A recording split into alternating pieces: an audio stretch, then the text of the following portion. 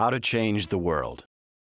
Human capital is the most important asset there is. While many people today think their actions are insignificant, nothing could be further from the truth. Using little more than the internet and imagination, your small yet powerful actions can touch the lives of people thousands of miles away and instantly change the world. Step 1. Pass the book. The written word is power.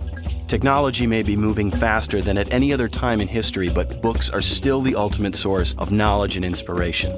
Knowledge has no power unless it's applied, so consider a program like bookcrossing.com. Every time you read a great book, instead of putting it away on a shelf, leave the book in a public space where someone can find it. Read it and continue to pass along the power of the written word. Step 2. Speak your mind. People respect those who speak the truth. If you can articulate your thoughts and ideas, you can inspire the masses, create momentum, and bring about change. Email your local governments. Call your politicians. They are there to serve the people, but only when the people speak up and let them know how they can best be served.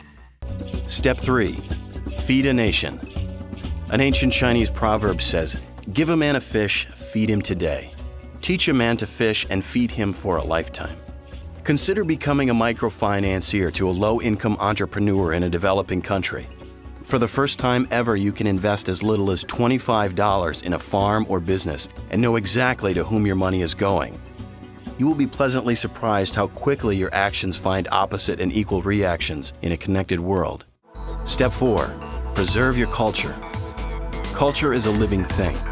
In order for future generations to understand themselves, they will need to study your culture. If your culture disappears, so does your story. Your well being depends on the strength of your community. Rebuilding neighborhoods and nations takes a strong foundation. Embrace this exciting time in world history as an opportunity to move forward and build a sustainable culture. A generation from now, people will look back at this moment to find out what you did.